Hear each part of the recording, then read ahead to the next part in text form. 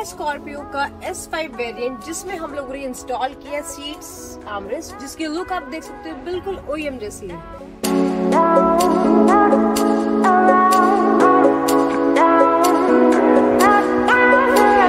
है